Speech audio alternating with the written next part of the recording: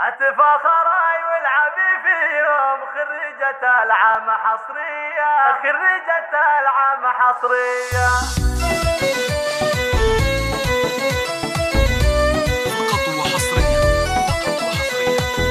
على هواجس الشام على هواجس الشام. خريجة العام حصرية.